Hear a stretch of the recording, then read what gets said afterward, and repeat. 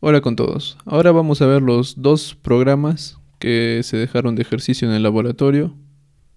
Entonces, el primero era un programa que era un conversor de monedas, de soles a dólares y de dólares a soles. Entonces, hagámoslo. Yo he creado un archivo nuevo, lo voy a guardar y le voy a poner monedas.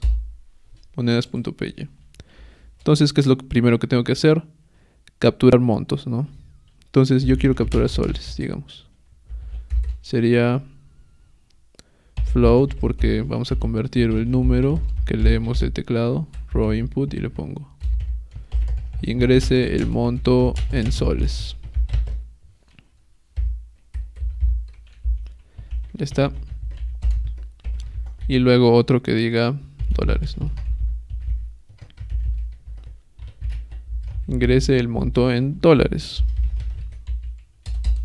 Ahora tenemos que aplicar nuestros tipos de cambio.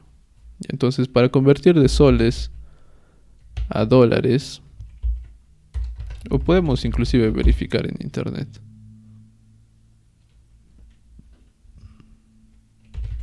Digamos, pen to USD. ¿Qué quiere decir pen to USD? Es un sol peruano a un dólar a dólar. el tipo de cambio es .31.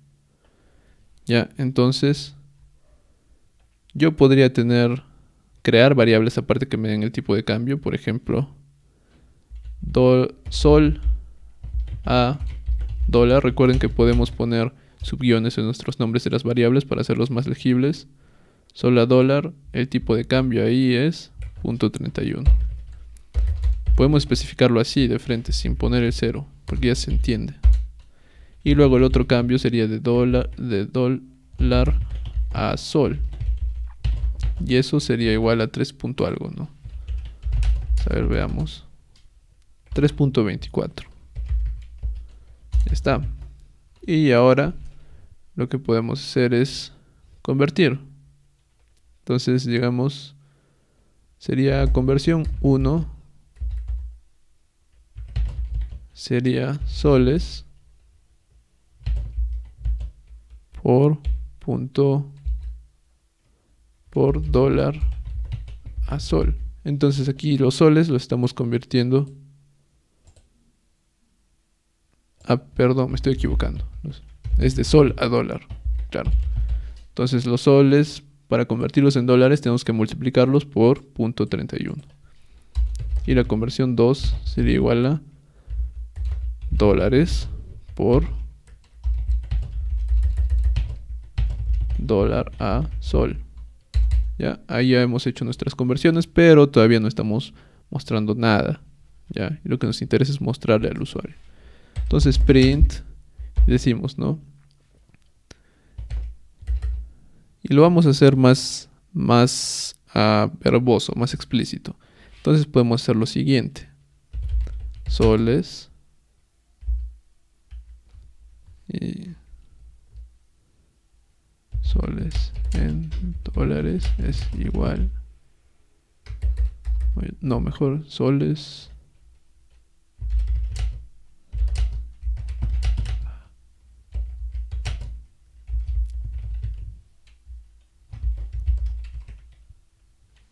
A ver, ejecutemos esto. ¿Qué he querido hacer aquí? Se ingresa el monto en soles, de repente 15 soles. Dólares, 10 dólares.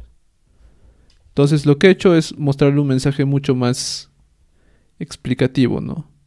15 soles son igual a 465 dólares, ahí me faltaría poner. Recuerden que si queremos juntar varios valores, ya sea variables o literales, en un print lo especificamos con coma. Entonces, esto es una variable, entonces va a venir print, digamos, con el valor que está actualmente. Soles, ¿dónde está soles? Ya, 15. Entonces, 15, luego soles son igual a comp1. ¿Cuál sería el valor de comp1? 465. Entonces 15 soles son igual a 465 y luego una literal de texto dólares.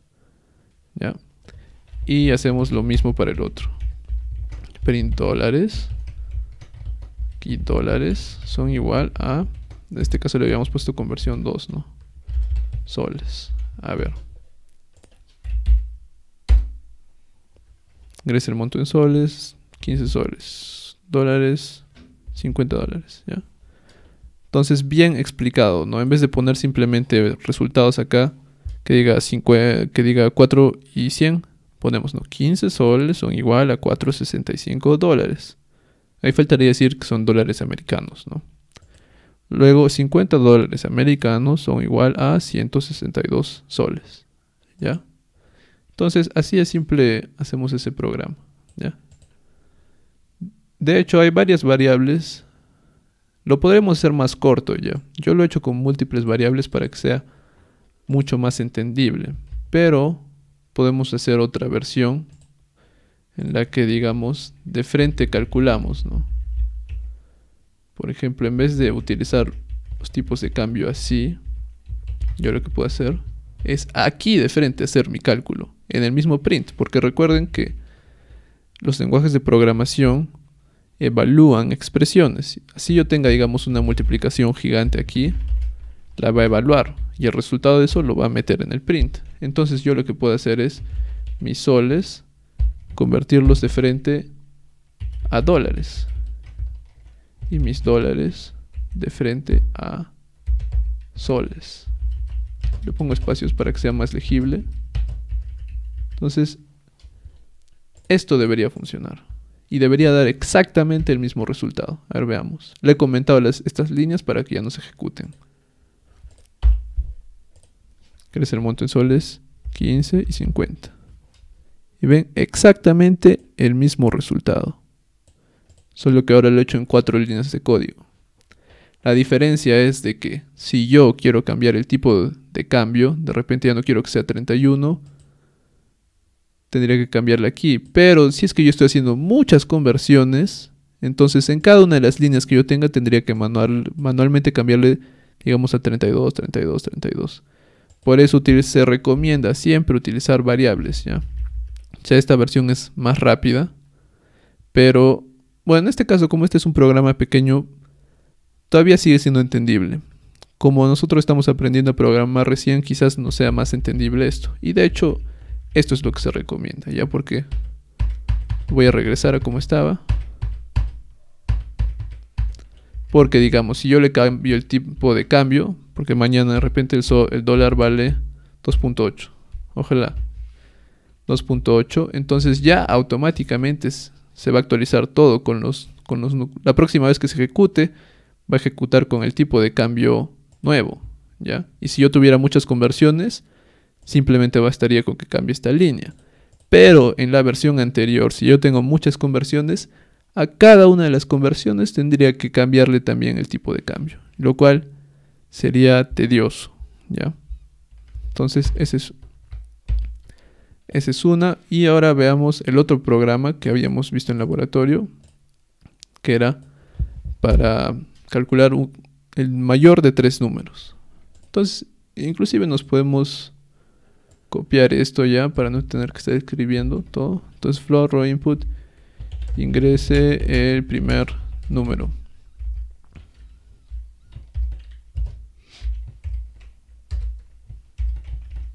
Y este sería X, digamos.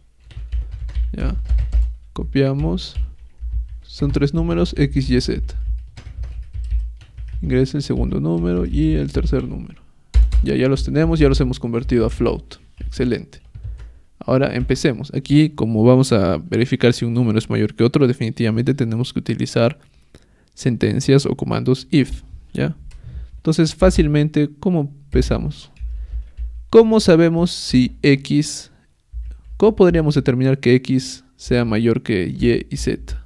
Simplemente preguntamos eso, ¿no? O sea, si x es el mayor, entonces x debería ser mayor que y y no o y mayor que z. Entonces, if x es mayor que y y x también. O sea, es básicamente decir si x es mayor que y y también es mayor que z. Entonces, ¿cuál es la conclusión ahí? No? De que x es el mayor, pues. Entonces, imprimimos x. Ya. Luego. Ahora, podríamos utilizar un else, que sería en el caso contrario. Pero como nosotros tenemos más de un caso contrario, o sea, tenemos el caso de que Y sea el mayor o de que Z sea el mayor, entonces vamos a utilizar un else if, que nos permite, a diferencia de un else que ya no nos permite agregar una condición, el else if viene, digamos, si este if no es verdadero, lo que va a venir acá es ahora a evaluar este if. Entonces acá podemos especificar otra condición. ¿Cuál es el otro caso? De que y sea el mayor. Y para que y sea el mayor tendría que ser y tendría que ser mayor que qué? Que x y también ser mayor que z. Entonces, en ese caso, el mayor sería y, ¿no? Y luego, como tenemos un caso más, podríamos decir que z, cuando z es el mayor, entonces tendría que ser mayor, z tendría que ser mayor que x y ser mayor que quién? Que y. Entonces, en ese caso, z sería el mayor. A ver, ejecutemos esto. No lo he guardado, así que tengo que guardarlo. Entonces, mayor. Mayor de 3 lo voy a poner. Ejecutemos. Me da error de sintaxis. Allá. Ah, ¿Por qué? Dense cuenta. Miren, todos los paréntesis deben tener su, contraparte. Entonces, este paréntesis, acá me resalta, tiene su paréntesis que lo cierra aquí. Pero este paréntesis nadie lo ha cerrado. Ahí me he olvidado. Entonces, y todo están igual, así que debo completar. Ahora sí. Ah, todo lo que es tildes, señas y caracteres, digamos, es de nuestro alfabeto. Mm, no se van a ver bien en Python, ¿ya? Así que eviten utilizar tildes y tildes, ñes, cosas así, ¿ya? En realidad sí se puede configurar para que funcione, pero es, es bastante, bastante trabajo. Entonces le he quitado las tildes ahora. Ingresa el primer número. Los 30. 20 y 10. Entonces en este caso el mayor debería ser 30. Y ahí nos dice 30. Entonces, a ver, ahora probemos otro. Ya. Digamos a 20, 100 y 1. Entonces el mayor es 100. Y uno más. Estamos probando cada uno de los casos posibles. A 0, 5, 40. 40. ¿Ya? Ahora, tenemos un caso más, que en realidad no lo hemos tomado en cuenta, que es el caso en el que todos sean iguales. ¿Ya? Y ahí no nos muestra nada. ¿Por qué? Porque ninguna de estas es verdadera. Entonces, como esta no es verdadera, no imprime X. Como esto no es verdadero, no imprime Y. Como esto no es verdadero, no imprime Z. Y ahí ya se acabó el programa y no imprime nada. Entonces, ahí el mayor en realidad no habría mayor, pues todos los números son iguales. Entonces, ahí recién podemos ponerle el else, ¿ya? Entonces, él sería caso contrario que ninguna de estas haya sido verdadera. O sea, si esto no se da, ni se da, ni este, ya acá viene el else. O sea, cuando ninguno de los anteriores es verdadero, viene el else. Entonces, si es que ninguno de los anteriores es verdadero, quiere decir de que no hay mayor, de que todos son iguales. Entonces, pondríamos ese mensaje, ¿no? todos son iguales.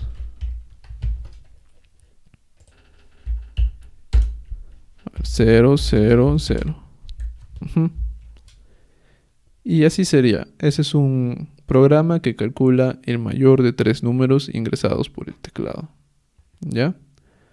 Ah, sería mejor si le añadiéramos aquí un mensaje más explícito que diga el mayor, mayor es Sí, ¿no? Y para cada uno. Pero podemos hacerlo más modular, más, digamos, más completo. O sea, en vez de estar copiando el mayor es, el mayor es, el mayor es, lo que podemos hacer es lo siguiente. Vamos a crear una variable que se llame mayor. ¿ya? Y ahí, en vez de imprimir directamente el valor, vamos a guardarlo ahí. Entonces decimos el mayor es x. Entonces, en vez de imprimir directamente, el mayor es y, y el mayor es z. Ya. Y bueno, este este lo vamos a dejar así por mientras, ¿ya? Entonces, ahora, en vez de poner tener muchos prints, tendríamos uno solo que diga el mayor es y mayor, porque ya se supone que nuestro programa ya ha calculado cuál es el mayor. Entonces, en esta variable mayor debería estar ya el número mayor, ya sea X o Y o Z. En realidad no nos interesa. A ver, probemos.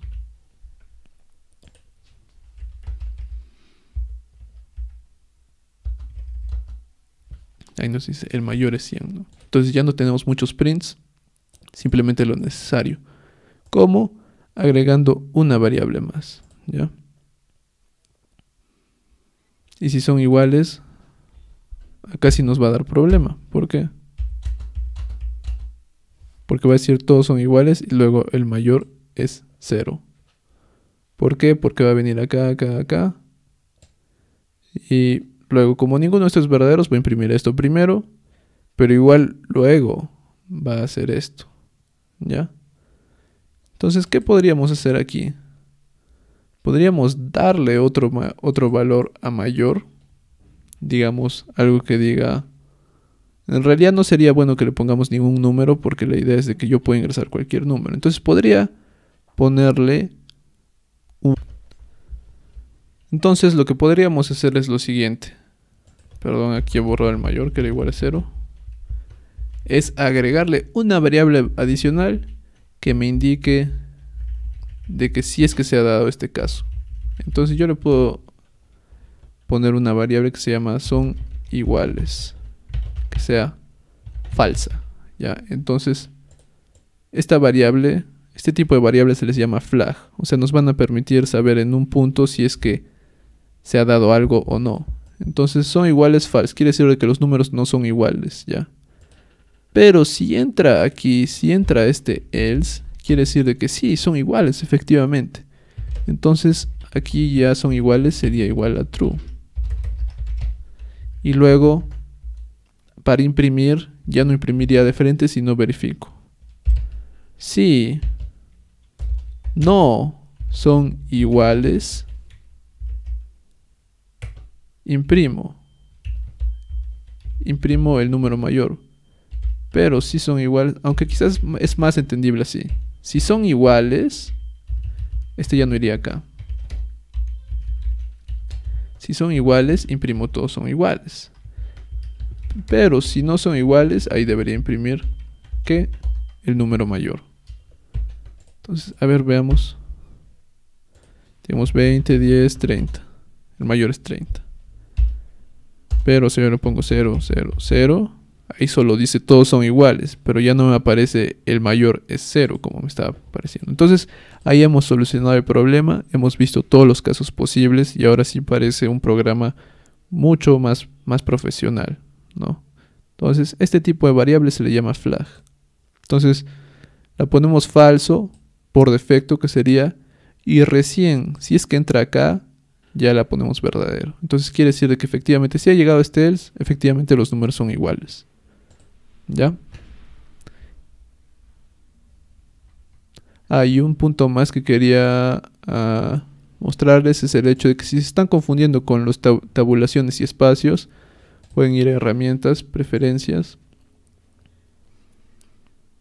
editor, y hay uno que dice mostrar espacios en blanco, ¿ya? Para que se para que se den cuenta. Por ejemplo, una tabulación, al menos en este editor, está programada como cuatro espacios, ¿ya?